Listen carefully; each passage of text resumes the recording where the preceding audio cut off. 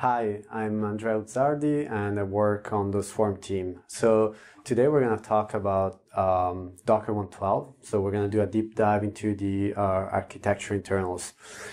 So let's start with cluster topology. Um, a swarm is composed of nodes. Like a node is the base unit of computation for a swarm, and uh, you create a swarm by joining multiple nodes together.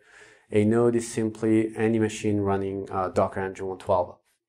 So there are two kind of nodes. We have manager nodes, uh, which are performing uh, all the uh, scheduling, orchestration, and so on. And then we have uh, worker nodes, uh, which are only responsible to take work, execute it, and report back on the status.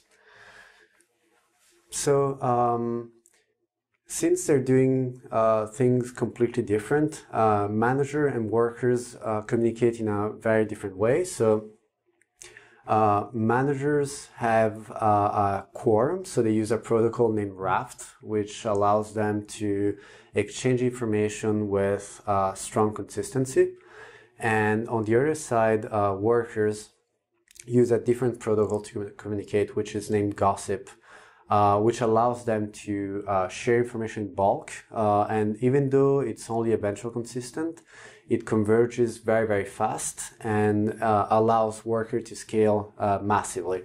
So in a typical uh, Swarm cluster, you would have, let's say, uh, three, five, seven maximum uh, managers and many, many workers. A node is not uh, the role of a node is not static. In fact, you can, through the API, you can dynamically change um, any node and you can decide whether it should be a manager or worker and then change them uh, dynamically at runtime. So we covered how managers talk uh, with each other and how uh, workers talk to each other, but uh, in order for workers and managers to talk to each other, we're using uh, yet another uh, protocol, which is gRPC. So gRPC is a very fast and optimized protocol which is built on top of HTTP2. So it allows to um, to communicate through the internet very easily since it's something that's been supported forever. So it works through proxies and so on and so on. And one nice aspect of gRPC um, that the protocol itself is versioned. So it means that uh, different versions of workers are actually able to talk to a uh, different version of the managers, and that's handled transparently. Okay, so um, so one of the reasons um, managers are part of a quorum is that it allows them to share information uh, persistently and in a fault-tolerant way. We use that as an embedded uh, store, so you don't have to set up a key value store.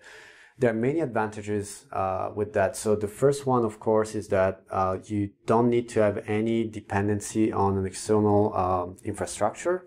Uh, so it's much easier to, to set up and operate. Uh, a side effect of that is also that managers are going to communicate through the um, like embedded uh, TLS encryption system.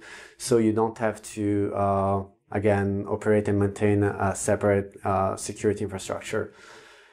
Another advantage of having um, the store embedded is performance. So since uh, we're not using a, a, generic data store, but instead uh, we roll out our own, it means that we're able to do many optimizations. So every single manager um, actually has an, the entire uh, desired state uh, cached in memory, which allows them to make very fast decisions. Okay.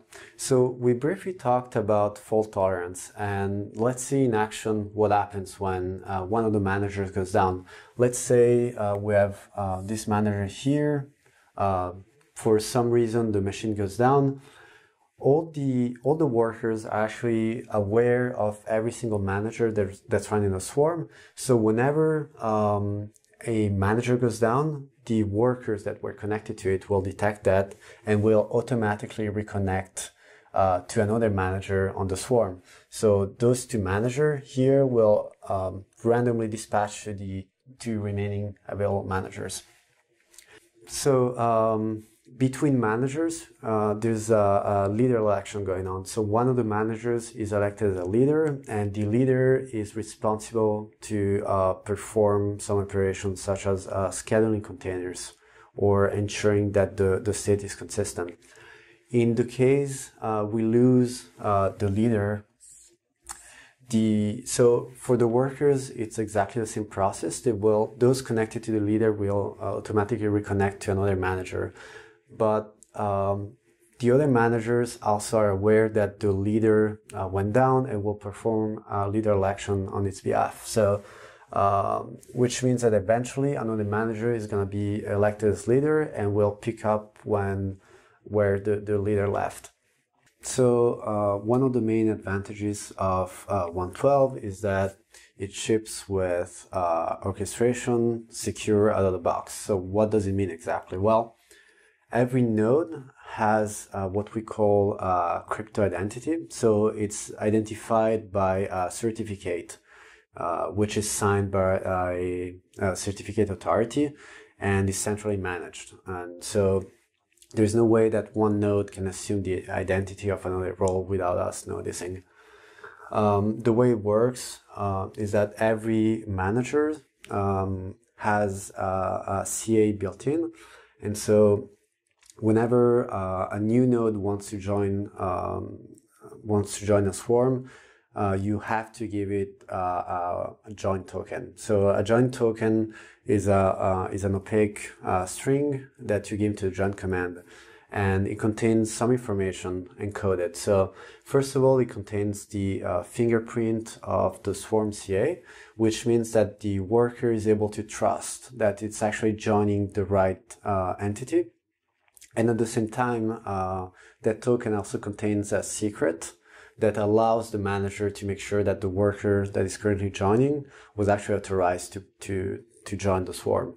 So um, the worker will present uh, the token to the manager. Now they can trust each other since uh, they're aware of their identity. And the worker will generate a certificate, give it back to the manager. The manager will sign it using the CA returning back to the worker, and now the worker can use that certificate to talk to any other uh, node in the cluster, and it will be uh, identified by the new uh, crypto identity, which is embedded into the certificate.